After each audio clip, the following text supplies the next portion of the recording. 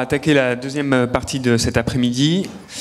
Euh, enfin la deuxième table ronde plutôt, euh, donc avec euh, cette fois-ci des, interventions plutôt axées vers l'incorporation de ces matériaux qu'on a pu voir en première partie dans des bâtiments. Et puis, évidemment, il était assez naturel d'appeler en premier lieu un architecte. Et donc, j'ai demandé à Grégoire Dumont, de Dumont le Grand Architecte, de venir nous parler de sa propre expérience et sa vision des matériaux biosourcés dans le bâtiment.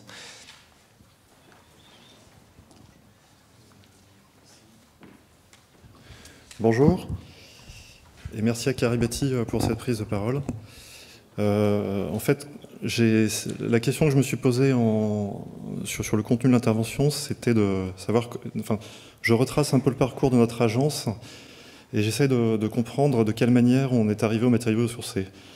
Alors en fait, tout début de l'agence, on a construit des petits projets que j'ai qualifiés des projets un peu d'orientation matérielle, c'est-à-dire que l'expression constructive le plaisir du matériau, euh, le, plaisir du chantier, euh, enfin, toute l'expérimentation, le jeu, etc., sont des éléments essentiels à la conception de l'architecture.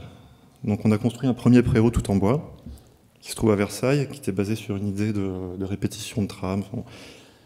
À la suite de ça, on a travaillé, on travaille actuellement sur une école tout en bois, qui elle aussi, euh, dont la conception repose sur la, répétition d'une structure. je ne m'étends pas sur toute la, la démarche urbaine et, plus large, mais je, vais, vraiment parler des matériaux. Ou euh, une petite maison à Boulogne euh, en briques massives, euh, Cholet dans sa partie basse et vernissée dans sa partie, enfin de tuiles vernissées dans sa partie haute, ou une petite maison en bois noir de goudron de pin. Tout, de goudron de pin. En fait, tous ces matériaux-là, tous ces, tous ces projets ont été, à mon sens, sont, venus assez naturellement de, de commandes assez ordinaires et euh, au moment où on commence tous ces projets à l'agence, on sort de l'école en 2000 à peu près, et on, a été formé, euh, je dirais, à la conception de l'espace. Et, euh, la, question des matériaux a, été considérablement délaissée dans les écoles, en tout cas dans les écoles dans, lesquelles nous étions, et mon associé Olivier Legrand d'ailleurs, et moi-même. Et en 2007-2008, on commence à travailler en partenariat assez, assez, assez serré avec des amis ingénieurs thermicien, qui s'appelle Laurent Mouly et Grégoire Mouly euh, LMING, c'est le nom de leur, activité, de leur société. Et on commence à, se questionner sur la construction biosourcée par l'intermédiaire, par, le biais du béton de chanvre. Alors, on va faire, en fait, en, 2012-2013, on va construire une opération de 1200 mètres carrés de logement individuel groupé en béton de chanvre. Il se trouve, que c'est la première opération de, de logement individuel groupé en France de ce type. Il y avait déjà eu à l'époque pas mal de 3-4 projets en région parisienne construits sur ce principe. Et euh, j'ai envie de dire que la, compréhension que nous, avons eue de, ce phénomène, enfin de le phénomène du changement de phase, changement de phase du matériau, nous a fait euh, saisir, enfin nous a permis de saisir une dimension autrement plus sensible que celle que, la dimension conceptuelle dans laquelle nous étions avant, qui était de, construire euh, avec, des, avec, des éléments constructifs visibles, mais, le béton de chambre nous a fait saisir cette dimension un peu plus immatérielle du, projet architectural. Alors j'ai pris un peu pour exemple une, installation qui été faite à la, Biennale de Venise en 2015. C'est un artiste japonais qui a, qui a monté des murs en béton de chanvre dans la Fondation Pinault. Et le commissaire d'expo disait, euh, quand on rentre dans cette installation, on ferme les yeux et on, laisse venir un peu les, sensations. Alors c'est un peu ce qui nous est arrivé, nous, euh, sur ce, fameux chantier de, des loges en Josas, euh, où en plein hiver, un moment où la coque du bâtiment était terminée, que les fenêtres étaient posées, on s'est retrouvé avec une dizaine de, nos partenaires, les entreprises, le, bureau d'études, Laurent et Grégoire, euh, et, on s'est dit, tiens, il y a ce, phénomène de parois chaude dont je vais vous parler, il nous a, il nous a vraiment tout saisi, on s'est dit, il se passe quelque chose. Quoi. Et depuis, en fait, euh, euh, cette, dimension sensible dans la conception est considérablement rentrée dans notre pratique, et je pense que c'est le cas de, pas mal d'agences d'architecture en ce moment, et, c'est tant mieux. Alors le béton de chambre, j'en refais un, tout petit un, tout petit résumé. Donc les champs béton de chanvre sont des champs qui sont, cultivé en, assolement triennal, sans intrants. Avec il, permet donc une captation de CO2 essentielle à, la suite, enfin en tout cas dans la, suite. Une fois, la, une tige ouverte, on, récupère, alors cette image-là ne montre pas, mais on récupère ce qu'on appelle la vote. Les dérivés euh, historiques du chanvre sont le tissu, la corde, le textile, etc. Et dans le monde du bâtiment, aujourd'hui, on sait donc construire en béton de chanvre. Alors c'est quoi? C'est un mélange de chaux et de chanvre et d'eau. La particularité de ce mélange, c'est qu'à l'image un peu, je dirais, du, du, pulmérinos, euh, il, en tant que tel, il laisse passer, euh, il laisse passer l'humidité et la vapeur d'eau, enfin en tout cas il laisse passer les échanges d'humidité dans, dans, sa paroi. Quand en été il fait chaud, un phénomène d'évaporation se, produit et, un, une absorption de chaleur se crée. Il y a donc un sentiment de paroi froide, il y a donc un effet de paroi froide sur la partie intérieure du bâtiment. Inversement, en hiver, quand il fait froid à l'extérieur, un phénomène de condensation se produit, il y a un sentiment de paroi chaude à l'intérieur. Et c'est très exactement ce phénomène que nous avons vécu euh, sur le, enfin que nous avons tous appréhendé, qui nous a énormément enthousiasmé euh, sur ce projet des loges en jazz. Pour être un peu plus large sur la conception que nous avons, euh, je dirais, des bâtiments à construire, en fait, euh, j'ai tendance à croire que le, concept de la passive house et de la maison DBC, euh, bien qu'ayant énormément de qualité, tendent à, envelopper, je dirais, l'atmosphère d'intérieur du bâtiment, freine et ferme les échanges climatiques entre l'extérieur et l'intérieur. A contrario, un bâtiment en béton de chanvre ou tout, tout de matériaux biosourcés permet les échanges et, euh, permet de concevoir des euh, des euh, intelligentes. Alors je vais, je, vais, je, vais, je vais, vous présenter deux projets. L'un tout neuf, donc le, projet des loges en Josas, en béton de chanvre projeté, et le second qui est un projet en réhabilitation qui a été réalisé dans Paris, d'un petit immeuble du, du 18e siècle. Pardon. Alors ce qu'il faut, faut peut-être retenir dans, ces deux projets-là, c'est que dans les deux cas, euh, nous, nous sommes une petite équipe de maîtrise d'œuvre, bien entourée techniquement par les, par les, moulis, les, ingénieurs, et on se retrouve euh, dans le premier cas avec un maître d'ouvrage qui, euh, est pour l'innovation et, dont, le métier premier est d'être exploitant forestier. Donc il est à la fois exploitant forestier et investisseur, c'est son mi-temps.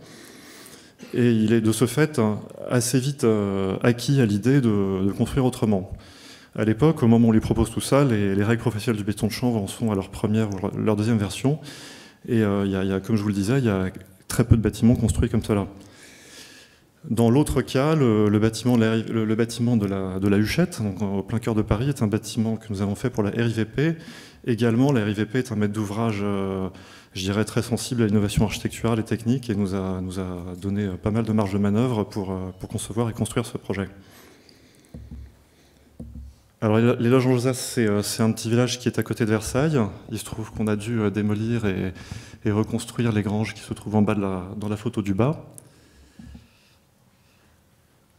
Voilà le, le plan masse avec l'implantation des bâtiments. La, figure et la silhouette des bâtiments sont, très conventionnelles, je dirais, très intégrées au, contexte dans lequel nous sommes. Les architectes des bâtiments sont très présents. Il y, a, un cadre, je dirais, un cadre architectural qui est très conduit. Et ça nous a, ce, qui, nous a, ce qui nous énormément plu, c'est de concilier à la fois cet, encadrement très fort et de, répondre techniquement avec une innovation très forte qui, qui, finalement est complètement dissimulée, ne se voit pas. De certaine manière, l'architecture ne, se ne se met pas en avant, mais, euh, laisse place à, l'espace une, technicité très faiblement exprimée et, des choses très très simples. Donc là voilà quelques photos du projet. Alors les, codes classiques de l'architecture sont repris, on réouvre, euh, on réouvre au sud des grandes baies en faisant appel à des références de baies, de grandes granges. Et j'en viens donc au système constructif. Donc en dessous de cette, euh, de cette peau d'enduit euh, plâtré, chaud, le choix constructif retenu est celui d'une ossature mixte euh, en, béton avec un fond de pharmacelle sur lequel on va venir projeter le, béton de chanvre. Alors comment ça se passe? En fait, une fois que l'ossature est montée, une fois que la préfabrication est terminée et installée, une grande lance récupère le mélange chaud chanvre eau et, on projette en plusieurs passes on projette en plusieurs passes l'isolant. Alors, je ne rentre pas dans les détails, mais ce que, cette planche signifie, c'est que la, somme des détails qu'il a, fallu, régler, je dirais, au moment de la conception du projet est phénoménale.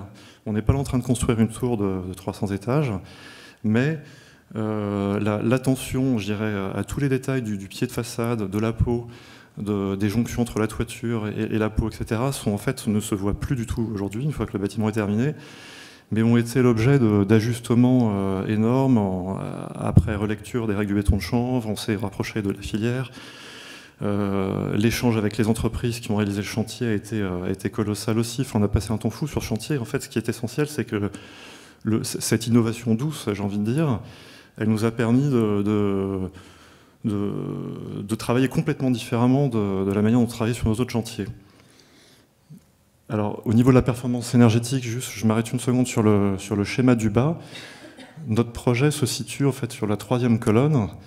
Il est en émission de CO2 euh, en facteur 4. Et je l'ai situé euh, à gauche d'un projet qui aurait pu être BEPOS avec euh, une même, technique, enfin avec une technique différente, la technique du monomure.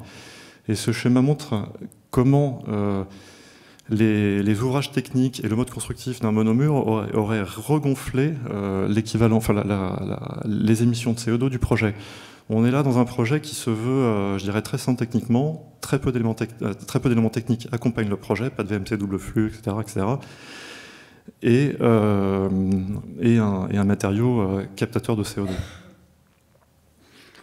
Donc voilà les dernières images du projet. Et j'arrive sur le deuxième, euh, sur, le deuxième projet que je vous présente, qui est le, donc le projet de la, rue de la Huchette pour la RIVP. Donc il s'agit là d'une toute petite parcelle qui se trouve euh, rue de la Huchette entre la Seine et à, à peu près 300 mètres de Notre-Dame. Donc on est dans un contexte, euh, dans un contexte hyper protégé, avec une complexité technique assez folle du fait d'un sol complètement meuble, euh, un objectif euh, donné par la mairie de Paris d'être plan climat euh, plan climat. Et voilà, voilà, un peu les contraintes. Et un immeuble dont on hérite au moment où on démarre l'étude, qui était quasiment en arrêté de péril, avec des planchers qui avaient des verres de 30 cm dans tous les sens. Donc, à la complexité du programme et du contexte, on a ajouté cette enfin, une nouvelle complexité qui était, de, qui était pour nous essentielle de, de prolonger notre expérience du projet des loges en Josas. Alors là, on voit la façade arrière avec, une, aile contemporaine et, et le, corps de bâtiment principal qui fait l'objet du, sujet, euh, d'aujourd'hui. Alors, le, programme consiste à, réhabiliter tout, le corps de bâtiment principal et à, construire une aile, en retour à l'arrière qui va accueillir un nouvel escalier. Le corps de bâtiment principal va faire l'objet d'un curage complet euh, ces planchers vont être entièrement réhabilités et le système d'isolation que nous allons retenir va être celui du béton de chanvre. On va piocher les enduits donc du, béton de chanvre sur les deux faces. On va piocher les, enduits extérieurs pour les remplacer par un corps d'isolant mince de 2-3 cm, complété d'un enduit extérieur chaud chanvre. Et à l'intérieur, nous allons projeter 10 euh, cm de béton de chanvre. L'idée là, c'est de, tirer parti de la, matérialité de l'immeuble. On, a un immeuble en moellon, 18e, et la question qui se pose, c'est de savoir dans un centre historique comment, euh, comment on fait perdurer, euh, euh, je dirais, la, qualité matérielle de cet immeuble au-delà de, toute la symbolique architecturale dont, je parlerai moins ici. En tout cas, ce que, ça permet, ce que, ça va permettre, euh, c'est la conservation des monatures, c'est euh, un climat sain, pour toutes les raisons que j'ai pu expliquer avant. Et euh, dans le temps du chantier, à nouveau, comme sur les loges en Josas, on constate que notre rôle d'architecte va un petit peu au-delà que celui de, prescrire quand on se lance dans une situation un peu innovante comme celle-là. Y reste combien de temps? C'est fini. C'est fini. Bon bah, je, passe très vite. Hein. C'est que notre, euh, notre rôle est de, est de former, d'accompagner et de, je dirais, d'entourer l'entreprise considérablement. Et ça, c'est un peu le message que je veux passer ici. Donc je termine très vite. Voilà quelques photos de l'intérieur, l'extérieur. Le, alors, je m'adresse pas mal à des maîtrises orages en ce moment et je leur explique les avantages, les inconvénients, les coûts, etc. Donc je fais pas mal de synoptiques qui permettent de dire combien ça coûte et, et quelles, sont les complexités techniques que je peux rencontrer quand, je les emmène dans ce genre de sujet. Donc on est amené aujourd'hui à travailler, j'avance un petit peu, sur des projets qui s'étendent un peu plus en, plus en, taille. On est notamment sur un, projet de construction en paille à Bobigny, d'ossature béton, de remplissage en paille. Sauf que ce sont les deux, les, deux, petits immeubles qui sont de part et d'autre. Pourquoi béton-paille euh, pour, euh, la, mixité structurelle a, son sens du fait du programme et euh, d'une portée assez complexe à, réaliser. Et on vient remplir dans une ossature en béton des caissons de paille. Également, à Jouy en Josas, nous travaillons actuellement déposer un permis de construire le mois prochain de 130 logements sur lesquels on va construire à peu près un tiers des bâtiments en pierre massive. Et là encore, ce qui est intéressant, c'est que le promoteur qui nous a appelé, qui s'appelle la Franco-Suisse, a une, méthode de travail très encadrée, je dirais assez fermée dans sa, méthode. Et il est venu nous chercher justement pour réouvrir sa technique, pour réouvrir sa méthode et faire entrer dans ses équipes un savoir-faire. Et ça, en gros, c'est un peu le message que je suis passer ici, c'est que notre, notre rôle d'architecte, je dirais assez peu sachant en sortant de l'école, qui s'étoffe au fur et à mesure du temps grâce à l'innovation, euh, est un, nous, nous permet de prendre une place très centrale et très, plutôt transversale, dans le, sens, dans le, dans le, dans le monde du bâtiment, de la filière, du champ euh, à, la maîtrise, aux que nous, que, nous fréquentons au quotidien. Voilà.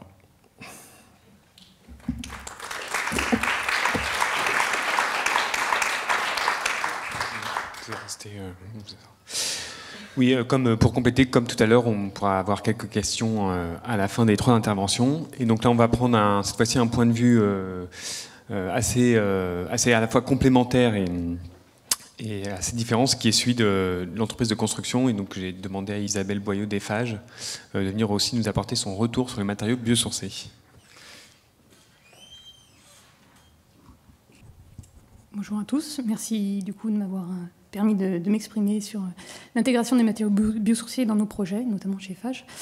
Alors je crois que on a fait le tour un peu de, enfin je pense que Aujourd'hui, tout le monde sait ce que c'est les matériaux biosourcés, peut-être un peu moins phages. Donc, je vais vous présenter, mais très rapidement, je vous promets, euh, les activités des phages. Donc, on est 64 000 collaborateurs euh, répartis dans différents métiers euh, très très variés, en quatre branches, regroupés en quatre branches. Donc, la construction, qui regroupe tous les, métiers du, coup, du bâtiment et de l'immobilier la branche infrastructure qui regroupe euh, le génie civil, les travaux souterrains comme on peut voir, et surtout la route.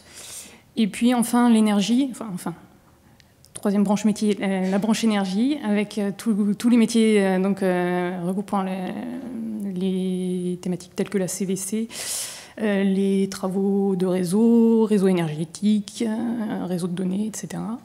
Et enfin la dernière branche qui n'est pas forcément métier, mais qui est aussi très importante, les concessions.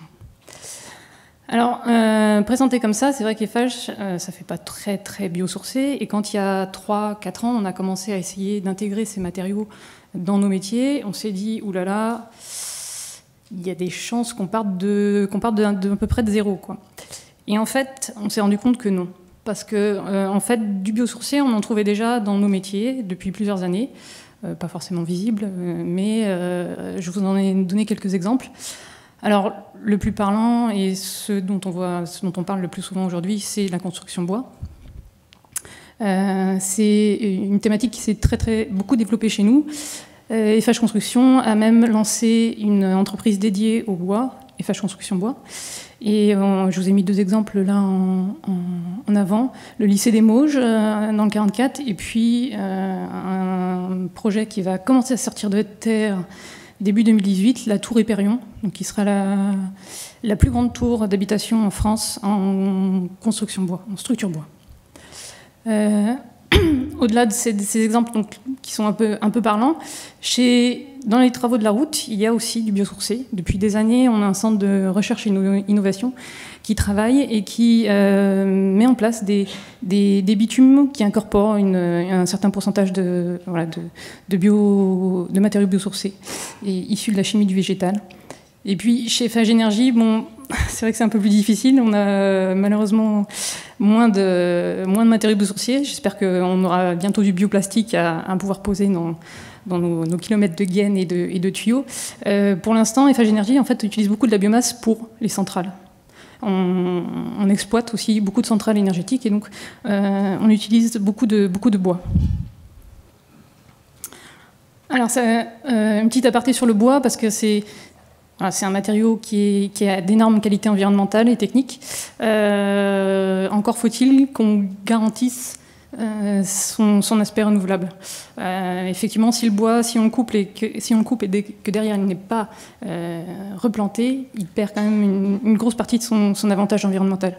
Du coup, le groupe s'est lancé dans, on dire, trois grandes actions pour garantir la, renouvelabilité du bois. D'abord, acheter du matériau, des matériaux de bois FSC ou PFC, ça c'est, on va dire, la base. Ensuite, on a beaucoup travaillé sur garantir l'origine des bois utilisés. C'est-à-dire qu'on a essayé de... Euh, toute cette année, on a fait un gros travail de traçabilité pour savoir qu'est-ce qu'on achetait comme bois, où étaient les fournisseurs qui nous avaient transformé ce bois. Et euh, on était remonté comme ça jusqu'à la forêt d'origine pour savoir d'où venait vraiment le bois qu'on achetait. Est-ce qu'il était vraiment renouvelable Et euh, c'était un gros travail de, cartographie qu'on voudrait utiliser et qu'on voudrait du coup valoriser euh, au moyen d'une euh, fiche bois qu'on fournirait à nos, fournisseurs, à nos clients, pardon, lors de la construction de, pardon, de, construction bois. En gros, dès qu'on construirait un immeuble bois, on fournirait aussi une traçabilité précise pour savoir d'où vient le bois qu'on a utilisé. Et enfin, trois, labelliser notre engagement au travers notamment des certifications HQE, BRIM, LEED et les labels biosourcés.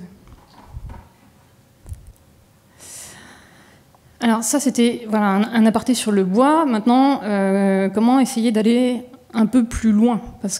Et pourquoi aller plus loin? Euh, D'abord, on a comme, toutes les grandes entreprises, on a beaucoup d'objectifs euh, en termes d'innovation, de développement durable. On veut forcément réduire les impacts environnementaux de nos, activités. Euh, et pour ça, les, matériaux biosourcés sont, sont un bon moyen d'y arriver. Ensuite, euh, il faut le noter, une demande croissante des clients. On voit de plus en plus d'appels d'offres avec euh, des demandes de labels biosourcés. les clients demandent des matériaux locaux. Euh, des matériaux renouvelables décarbonés. Donc c'est, euh, même si c'est pas 100% des, matériaux biosourcés ne, répondent pas à tous les critères, euh, c'est quand même un, bon moyen d'y arriver. Pour ça, on a mis en place trois grands axes de travail en interne, dont les, sur les deux premiers, c'est beaucoup Caribati qui, nous accompagne. D'abord, former, sensibiliser, parce qu'effectivement, l'acte de construire regroupe énormément de personnes différentes. Et euh, si ces personnes ne sont pas un minimum formées, sensibilisées à l'utilisation des matériaux, euh, aux différents matériaux qui sont, qui sont possibles d'être utilisés, c'est assez difficile. On a mis pour ça, on a mis en place des formations en ligne et aussi un catalogue de matériaux biosourcés. Ça, ça, aide beaucoup nos bureaux d'études en interne à justement montrer tout ce qui est possible comme, euh, matériaux dans la construction, comme matériaux biosourcés, et ça, les aide aussi à, à, les utiliser. Ensuite, le deuxième point, c'est très important aussi, c'est d'accompagner les appels d'offres. Euh, et surtout d'intervenir le plus en amont possible. On l'a vu euh, lors de la présentation précédente. si on prend pas, la mise en place de matériaux biosourcés amène souvent des petites contraintes techniques. Si elles ne sont pas prises en compte dès la conception, et très tôt dans les études, et très tôt dans les appels d'offres, euh, on peut se retrouver coincé au niveau du chantier, et donc il est important d'intervenir très très en amont. Ensuite, dernier grand point, c'est, euh, comme on l'a dit depuis le début, les matériaux biosourcés, c'est beaucoup de l'innovation, c'est beaucoup de premières fois. Euh, quand on demande à quelqu'un de changer ses habitudes de travail, ça met en place des doutes, c'est en général plus cher, donc euh, ça, met, ça met des freins. Et le groupe FH, pour ça, a, a, mis en place depuis cette année deux fonds dédiés à l'innovation de fonds dédiés, euh, dotés de plusieurs millions d'euros, donc qui servent à nos euh, équipes projets en interne, qui peuvent faire appel à ces fonds pour, euh, financer le surcoût lié à la mise en place, par exemple, de solutions décarbonées ou de solutions innovantes.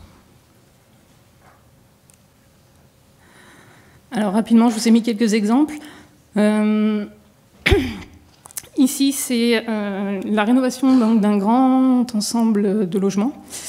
Euh, c'est un exemple qui date de 2014. pour répondre aux exigences thermiques et aussi aux exigences dans la rapidité de mise en œuvre, on a fait appel à une solution là, qui est on va dire semi-industrielle, la solution panneau-bloc, euh, qui est en fait un entrecroisement de, bois euh, dans lequel euh, est intercalé de l'isolant, qui peut être soit minéral, soit biosourcé. Et donc ces panneaux sont, sont préfabriqués euh, et n'ont plus qu'à être posés euh, sur chantier. Donc ça, ça permet une, une, ouais, une, grande rapidité d'intervention, d'utiliser du biosourcé. Et là, c'est une solution, on va dire, relativement facile puisqu'il y a des avis techniques euh, et euh, du coup, cette solution a été euh, réutilisée sur d'autres, sur d'autres opérations, et d'ailleurs en cours sur un de nos chantiers. donc là, c'était 3800 m2 de, de, façade, donc c'est déjà, pas mal.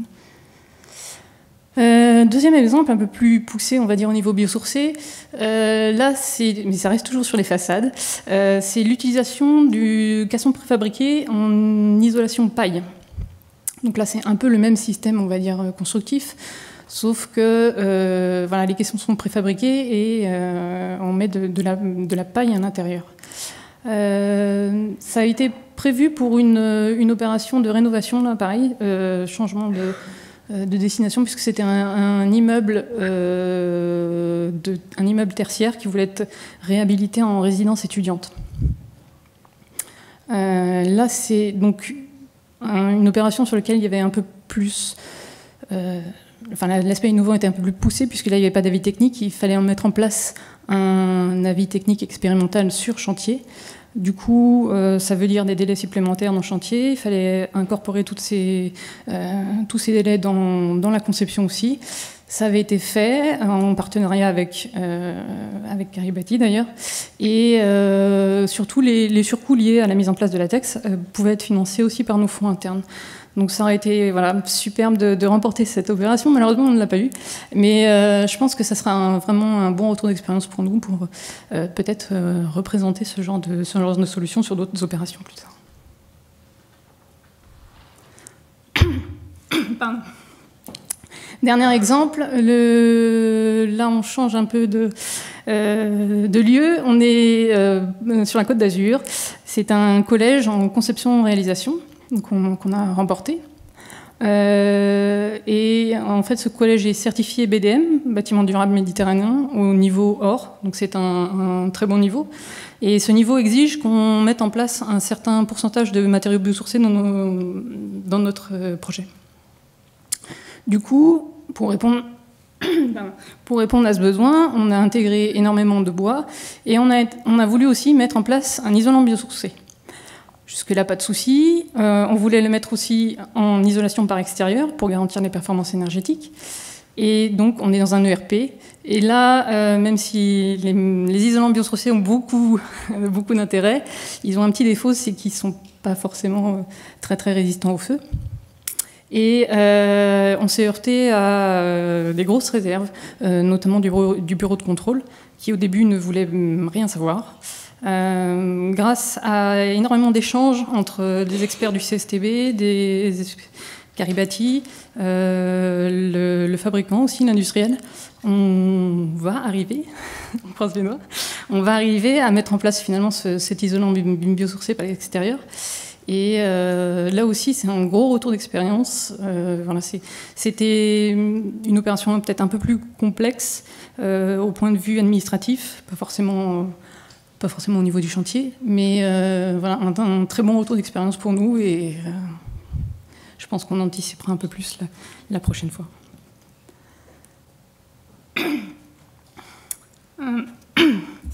En conclusion, je, voulais vous dire que du coup, les, euh, je trouve poursuivre un peu le, le monde de matériaux biosourcés depuis 4-5 ans. Euh, je, pense que les matériaux biosourcés ont, ont une très bonne image. Euh, effectivement, ils ont énormément de, qualité environnementale, notamment. Euh, il faut qu'ils continuent à, justement à, garder cette, image, notamment en garantissant la renouvelabilité des ressources, notamment pour le bois, aussi en continuant à, à communiquer, voilà, je y à communiquer sur leurs aspects environnementaux et notamment à justement produire des, FDES et des analyses de cycle de vie de leurs matériaux. C'est vraiment ce qui peut nous, nous, aider à démontrer euh, de façon précise que, que les matériaux biosourcés sont, ont, des, ont des avantages environnementaux. Et là-dessus, je pense que le, label, produit biosourcé, qui a été lancé il y a quelques mois aussi, peut, beaucoup aider à, à, garantir cette image. Euh, comme on l'a vu, la mise en place de matériaux biosourcés euh, peut parfois euh, être se heurter à quelques freins. je pense que si il y a une bonne application, notamment du, du maître d'ouvrage, si on anticipe voilà, les, les éventuelles difficultés techniques, qu'elles sont bien prises en amont, et si on forme tout le monde et qu'on communiquent bien tous ensemble. Euh, la plupart des freins peuvent être facilement levés et euh, voilà, j'espère que, dans, les, futures opérations, ça se, fera de mieux en mieux. Enfin, un dernier point positif. Euh, voilà, comme je le disais, je suis, les, les matériaux biosourcés depuis 3-4 ans. Euh, je trouve qu'il euh, y a une formidable explosion d'innovation, de, matériaux. Euh, il y a de plus en plus de, produits très intéressants qui sortent. ce foisonnement d'idées, de, produits, permet à, nos entreprises du coup de, proposer des matériaux plus facilement, d'avoir énormément de choix, peut-être de diminuer un peu aussi les coûts, parfois, et euh, de rendre en tout cas l'emploi de biosourcés plus aisé pour nos, pour nos entreprises. Et voilà, j'espère que dans les années qui arrivent, on aura encore plus de projets et d'exemples à vous montrer.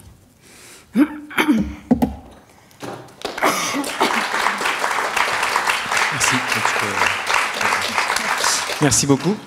Et donc, euh, la dernière intervention pour cette euh, table ronde, donc ce sera Alexandra Borsari qui va cette fois nous essayer d'élargir de, un petit peu le champ et d'apporter surtout vers finalement parler de ceux pour qui on fait les bâtiments, qui sont ces usagers. Je t'en prie, Alexandre. Alors merci aussi à Caribati. Et euh, moi je suis contente d'intervenir à la fin parce qu'en fait, j'apporte une vision naïve euh, sur euh, vos métiers, euh, parce que j'ai beaucoup d'attentes. Je suis utilisateur, usager. Je suis pas du tout issu du monde de la conception ni de l'architecture en général. Je connais pas de l'intérieur vos métiers, mais par contre, en tant qu'habitante du monde et puis habitante tout court, bah, j'ai des besoins et des envies. Et, moi, je suis docteur en sciences politiques. J'ai travaillé sur la quête du lieu idéal à travers tout ce qu'on peut projeter comme fantasme sur la nature. Et c'est pour ça que j'ai choisi de vous mettre euh, cette photo d'un jardin qui est près du Creusot, euh, pas seulement pour euh, vous montrer où j'étais allée me promener, mais parce que pour moi il est assez représentatif de ce qu'on peut, on aurait pu remettre mille autres de ce qu'on peut projeter sur ce qu'on appelle la nature et qui est souvent en fait un espace assez délimité où on a on exerce un contrôle et où surtout on est en sécurité. En tout cas en Europe occidentale.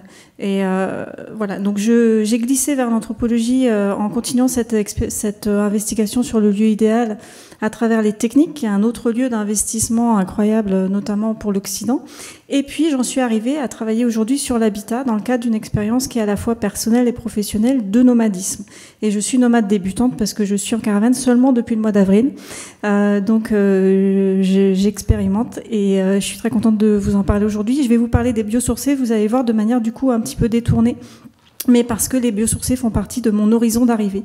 J'espère arriver en fait à concevoir avec des partenaires des, euh, des caisses mobiles innovantes qui soient pensées autrement euh, que avec ce quoi c'est fait aujourd'hui, c'est-à-dire euh, pas du tout pensé pour de la mobilité durable.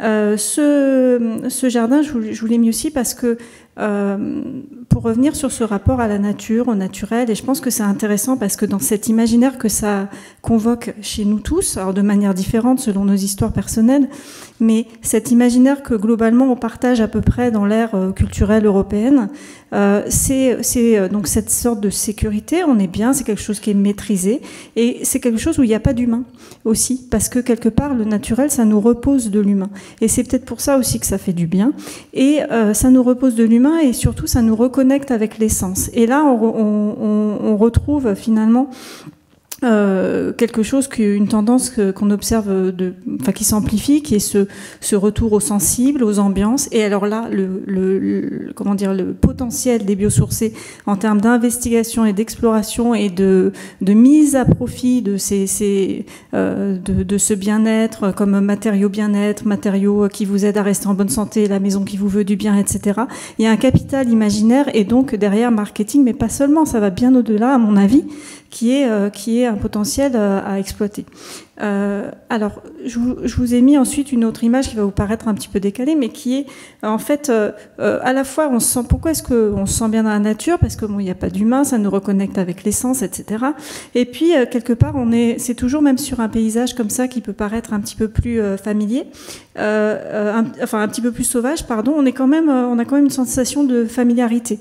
Et d'ailleurs je sais bien que là il y a des étudiants en architecture j'imagine, et je, sais que vous avez eu aussi, vous êtes sensibilisé au fait que euh, l'action de l'humain sur, euh, sur l'environnement, est prégnante et partout, et il n'y a pas de paysage vierge, ça n'existe pas, ou alors euh, faudrait peut-être en Antarctique, mais disons qu'il n'y a pas de, de paysage indemne d'une action humaine. Et là, sur ce fleuve, donc c'est enfin sur la Drôme, qui est un fleuve qui est, qui est assez peu aménagé d'ailleurs, euh, on a, on voit sur la deuxième photo, l'humain n'est jamais très loin, on voit la tour de craie. Ça nous paraît familier, ça nous paraît sauvage, entre guillemets, ce qu'on appelle sauvage, reconnexion avec soi-même. Et puis quand on se promène sur les berges, on trouve, euh, on trouve ça, ces traces d'humains partout. Encore une fois, vous allez me dire c'est loin des biosourcés, mais j'ai mis ça parce que j'aurais mis tomates sauvages, j'aurais dû mettre tomates ensauvagées. On ne sait pas comment sont arrivées les graines, mais en tout cas elles sont là. Si ce n'est que c'est du naturel, mais c'est artificiel. Parce que ces espèces-là, elles ne sont pas naturelles. Elles ont été euh, créées par l'homme. Euh, et, c'est là où je pense qu'il y a un potentiel et en même temps un danger peut-être pour la filière des biosourcés, qui est que à la fois cette image euh, naturel, bien-être, euh, c'est bienfaisant parce que euh, c'est pas chimique. Alors déjà, le chimique, la chimie, c'est naturel. Hein. il y a de la chimie partout. La photosynthèse, c'est de la chimie. et c'est à la fois, je, pense, mais je me trompe peut-être, que jouer sur, il faut, il faut absolument mettre en avant ce côté issu de la nature, issu de la biomasse, voilà, quelque chose de sain. Mais en même temps, il faut pas négliger l'aspect technique. Et peut-être que là, il y a parfois, et en tout cas dans l'imaginaire du grand public, il peut y avoir un décalage énorme et, sur lequel, euh, à mon avis, il y a un effort de pédagogie à faire. Mais parce que finalement, c'est très technique et on l'a vu avec les interventions qui ont précédé. Euh, il y a des savoir-faire et il y a des savoir-faire qui sont très anciens. Aujourd'hui, il y a des, techniques qu'on redécouvre et c'est comme, euh, comme ces plants de tomates qui paraissent tout bêtes et qui sont en fait le résultat ben, d'une intelligence de l'environnement, d'essais, de, recherche. Et, euh, et, au final, il y a beaucoup de techniques dans ces petits plants qui ont poussé tout seuls parce qu'il y a de l'humain derrière. Alors, je voulais aussi, euh, j'ai mis ça, c'est pareil, vous allez me dire euh, où sont les biosourcés là-dedans. Je voulais insister sur le côté habitude. Ça a été abordé, euh, on a dit, ah, l'innovation, c'est difficile. Enfin, de toute façon, l'innovation, je vous apprends rien, mais pardon pour la, répétition, j'imagine qu'on vous a rabâché ça, mais les étudiants, mais une invention, pour passer le stade de l'innovation, il faut qu'elle soit adoptée par un groupe social. Or, euh, bah, parfois, on fait adopter ce qu'on peut. Et là, je trouve qu'on a un bel exemple, c'est que on a l'impression que euh, va faire du verre. C'est sur l'écosite d'heure, c'est toujours dans la Drôme. Euh, on a l'impression aussi que parfois c'est facile de faire euh, quelque chose d'écolo, etc. Allez, on met du bois, hop, hop, hop, et c'est fait. Et puis on s'intéresse pas aux usages. Et puis en plus, euh, on a l'impression que, que les... enfin, ce qui est évident et ce qui devait être évident pour les gens qui ont pensé ça, c'est que attacher son vélo par la route devant, ça, ça suffisait. En fait, non. D'ailleurs, c'est pas utilisé, c'est ce qu'on voit. Et, et ça, j'insiste là-dessus parce que le plus dur, et, et je m'adresse en particulier aux étudiants, ce contre quoi vous allez devoir batailler tout le temps pour faire, pour défendre vos projets, c'est justement ces habitudes de pensée. Et c'est montrer que c'est pas évident et que les évidences de vos interlocuteurs n'en sont pas. Et ça, c'est vraiment très dur parce que euh, parce que on est face à... et puis en plus on est pris dans des contraintes réglementaires et puis de, de financement parce que j'imagine que si ça c'est là, c'est que euh, euh, c'était ce qui pouvait être financé. C'est décevant quand même. Mais bon. Donc l'idée c'est comment est-ce qu'on fait autrement. Donc c'était vraiment pour illustrer ce, côté écueil du, enfin c'est c'est du greenwashing hein, typiquement. c'est vraiment trop dommage.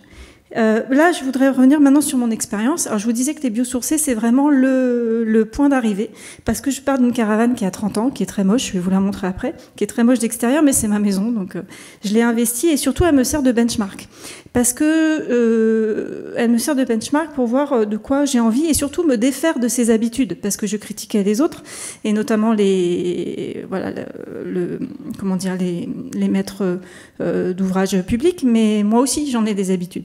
Et je, voudrais prendre simplement l'exemple de l'espace de repos.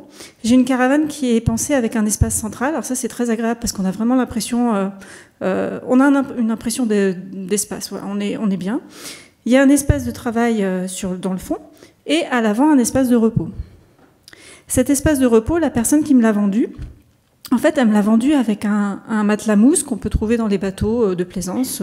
C'est un truc tout à fait classique, euh, pas du tout écolo. Enfin, et c'est un truc qui est assez dense, que c'est pas c'est pas inconfortable, mais ça n'a, enfin, ça n'a pas beaucoup d'intérêt. Et euh, surtout, bah, en dessous, il y a des coffres. Alors déjà, pour accéder aux coffres, donc vous voyez que j'ai découpé ça de manière très artistique.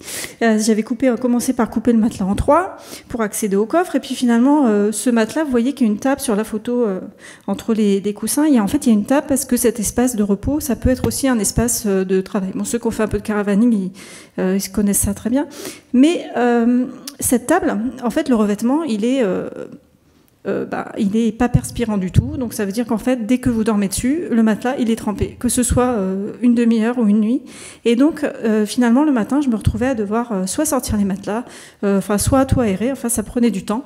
Donc déjà, moi, je suis assez feignante, j'avoue, pour l'entretien. C'est pour ça que je suis dans 9 mètres carrés aussi, parce que l'idée, c'était de gagner du temps pour faire autre chose. Donc, ça prenait du temps, c'était pas hygiénique, etc. Et ben je l'ai fait sauter. Mais il m'a fallu plusieurs semaines. Il m'a fallu plusieurs mois finalement pour arriver à la conclusion. Et c'est là-dessus, c'était vraiment pour illustrer ça, que finalement, on est tellement habitué au fait que ben, dans un habitat, même s'il est petit, il, faut, il y a un espace de repos et c'est un lit, et que j'avais laissé le lit. Alors qu'en fait, le lit, j'en ai rien à faire. Je dors dans un hamac et je dors très bien dans un hamac parce que c'est un hamac de Guyane en plus, donc il y a un côté affectif. Voilà, j'avais dormi quatre mois dans ce, ce, hamac il y a longtemps. Et finalement, c'était en 2004, donc ça fait très longtemps. Et il m'a fallu tout ce temps pour me dire, me défaire de cette habitude du lit. Et, et du coup, aujourd'hui, j'en suis très contente parce que vous voyez sur la photo du bas, là, avec euh, l'espèce de, pichet, que finalement, cette chose-là, ce tissu tout plié, et eh ben ça, c'est à la fois et mon lit et ma chambre à coucher. Et je suis très, très contente de ça parce que ça peut paraître rien du tout, mais ça transforme complètement l'espace. Et du coup, ça donne, ça donne, en fait, euh, et, ça montre à quel point, en fait, on n'a on a pas besoin de grand-chose. Et c'est un des piliers de mon expérience. Mon expérience, il y a trois piliers. Il y a un, se défaire des habitudes et se euh, défaire de cette, dépendance aux objets. Euh, et donc, euh, il y a toute une phase de dépossession. Euh, J'ai supprimé 90% à peu près de mes affaires, donc ça, c'est aussi quelque chose dont je suis, je suis assez contente, mais c'est pas terminé. Et puis, il y a une phase de test. On m'avait prêté, par exemple, une machine pour euh, fabriquer de l'eau à partir de l'humidité de l'air. Bon, euh, et puis une phase de conception de, qui arrive et dont je voudrais vous parler. Et cette phase avant d'usage, elle était importante parce que, euh, par exemple, si j'avais commencé par construire une tiny house, euh, bah, je me serais trompée. Je me serais trompée parce que j'aurais fait un truc lourd dont j'ai pas besoin. J'aurais gardé beaucoup trop d'affaires. Alors que là, de passer directement par cette expérience, j'ai 9 mètres carrés. Elle est grande, hein, elle fait quand même 5 mètres. Aujourd'hui, je me dis c'est trop. J'aurais dû prendre plus petit. Et, euh, ben euh, au moins aujourd'hui, je sais que par exemple, bah, ma prochaine caisse que je veux faire, que j'espère, et je cherche des partenaires en ce moment, j'ai plusieurs pistes de partenariat, notamment dans la Drôme, pour fabriquer des caisses mobiles innovantes qui vont cette fois être, elles, je l'espère, en biosourcé. Eh ben, euh, je sais que à l'intérieur, bah, il y aura pas de frigo parce que j'en ai pas besoin. Euh, il y aura pas de lit parce qu'il n'y en a pas besoin. Il y aura pas de évier parce qu'il n'y en a pas besoin. Enfin bref, il y a tout un tas de choses dont on peut se défaire. Alors maintenant l'extérieur. Et c'est là où je, je vous disais, j'ai un regard naïf et je suis euh, euh, très en demande, mais comme beaucoup de gens, je pense, du grand public, je suis très en demande vis-à-vis -vis des designers, des architectes, etc. Et je suis d'ailleurs dans un labo où je, je collabore avec des designers, mais j'ai d'énormes demandes en termes d'extérieur. De, de, et vous allez comprendre aussi pourquoi tout de suite. Vous voyez euh, donc là, euh, on a un exemple patrimonial, une cabane de berger, c'est esthétique, etc. C'est pas forcément très pratique aujourd'hui, mais c'est joli. Mais c'est du bois, c'est ce qu'on connaît. Euh, un abri de jardin en bois qui est très joli parce que, que enfin qui est joli, qui est mignon parce qu'il s'intègre bien dans le paysage, etc., etc. Euh, mais ça reste très classique. Et puis en bas, il y a l'espèce de chose qui est ma maison. Et, euh, et j'avoue que franchement, ça s'intègre pas du tout dans le paysage, et c'est fort dommage. Et sauf que quand vous regardez les caravanes aujourd'hui, donc qui peuvent être aussi des, considérées comme de l'habitat mobile, il n'y a rien de pensé pour faire euh, quelque chose de joli qui s'intègre dans le paysage. Toutes les nouvelles, elles sont blanches, ça dénote horriblement. Euh, enfin, c'est aller dans un camping aujourd'hui, vous verrez à quel point c'est moche. Et du coup, ça, je me dis, il y a quand même un travail à faire, surtout qu'on est sur un châssis. Et là, c'est là où vous me direz peut-être que vous, la maison mobile, vous en fichez. Sauf que sur un châssis, on peut expérimenter des choses en miniature.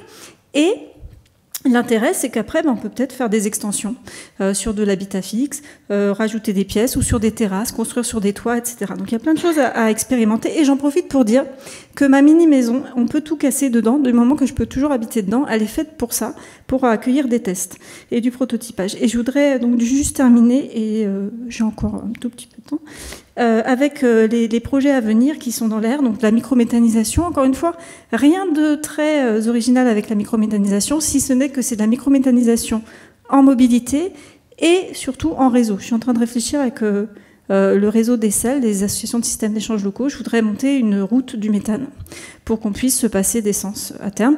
Et puis j'espère aussi euh, et là, c'est là-dessus que je suis en train de chercher des, partenaires. J'ai déjà un partenaire pour un espace de construction euh, pour euh, en fait imprimer en 3D ou tisser une caisse innovante en fibre végétale. Et, l'idée, moi, ce, ce dont je rêve, mais du coup, c'est là où je, revendique cette vision naïve parce qu'elle est très exigeante et tout de suite, on va me dire, les experts métiers vont me dire oh, attention aux contraintes en tout genre. Mais je voudrais que cette caisse, elle puisse aller au compost mais sans, sans euh, devoir être démonté, rien, qu'on puisse la laisser dans son jardin et que c'est fini. Et, ou alors qu'il y a une, manière pour la plier, tac, tac, hop, ça part au compost et c'est fini. Euh, donc on est toujours, alors c'est pas peut-être pas très durable dans l'usage, mais par contre on est sur quelque chose qui, qui va se, se reconstruire. Et puis bien sûr, je continue et je termine avec ça. Je continue le processus de simplification et des gestes et de la possession d'objets. Et je remercie, j'en profite pour remercier une designer euh, qui euh, s'appelle Mathilde Pelé et qui a lancé lors de la Biennale de design de Saint-Étienne euh, cette année, qui a lancé une expérience de soustraction d'objets. Et ça, ça m'a beaucoup inspiré parce que, en fait, Mathilde s'est dit, finalement, en tant que designer, j'ai passé ma vie à rajouter des objets à ce monde. Comment est-ce que je peux faire pour les soustraire et pour travailler sur les objets existants pour, euh, par exemple, ce pupitre, est-ce qu'on a vraiment besoin de ça Et elle commence à découper tout chez elle. C'est-à-dire qu'elle découpe euh, ses miroirs, etc. Et ça, c'est vraiment très intéressant parce que notre dépendance aux objets, alors, est-ce qu'il y a un lien euh, avec les biosourcés En tout cas, ce sera, il y a des explorations à faire, à mon avis.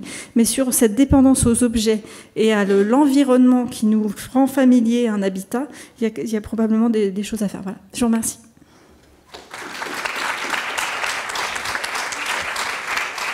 Merci beaucoup Alexandra.